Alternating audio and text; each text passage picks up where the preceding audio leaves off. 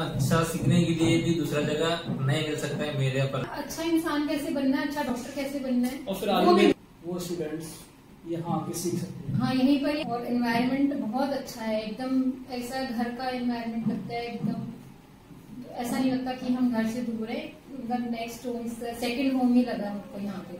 अच्छा लग रहा है यहाँ पे। अब हमारा आखिरी दिन है यहाँ पे। सेकंड क्लास होती है।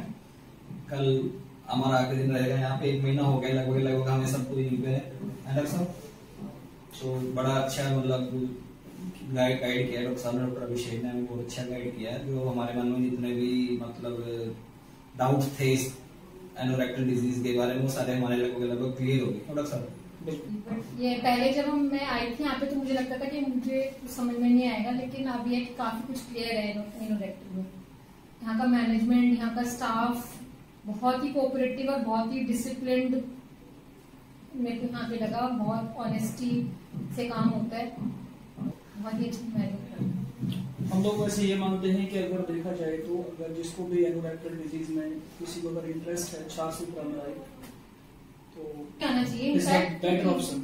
क्योंकि डॉक्टर अभिषेक इतना पर्सनल फीलिंग बोल रहा हूँ। सर ने बहुत स्लोली और जैसा समझाना है वैसा समझाते केस के बारे में और एक्सप्लेन करते जो भी डाउट आफ्टर केस के बाद में एक्सप्लेन क्लियरली करते हैं और सीखने के लिए यहाँ पे बहुत कुछ मिलता है।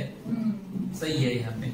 जो इन फ्यूचर हमारे काम आएगा काम हाँ सर ने काफ़ी कुछ हमारे को कॉन्फिडेंस भी दिया जिसकी ज़रूरत थी।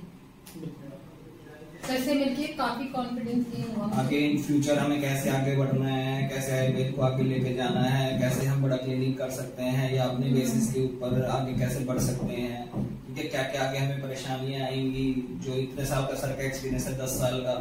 वो सब बातें बता रहे हैं बेझिझक बातें बता रहे हैं चाहे उनसे कोई गलती हुई है चाहे उन्होंने जो भी आगे नई अचीवमेंट ली है नई उन्होंने कोई चीज़ सीखी है वो भी वो छुपा नहीं रहे हैं जो भी उनके पास क्या है वो दे रहे हैं सबको ताकि सारे बी एम एस का सारे उसका फ़ायदा हो उससे डॉक्टर अभिषेक मतलब अच्छे ह्यूमन बीइंग भी हैं और अच्छे डॉक्टर भी हैं। दोनों चीज़ का कॉम्बिनेशन है सर तो मुझे बहुत अच्छा लगा यहाँ पर आकर।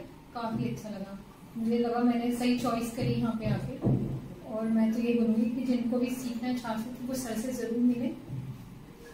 छात्र भी सीखने को मिलेगा और को किस तरीके से आगे लेके जाना है इसके लिए बहुत अच्छी अपॉर्चुनिटी भी है सभी के लिए।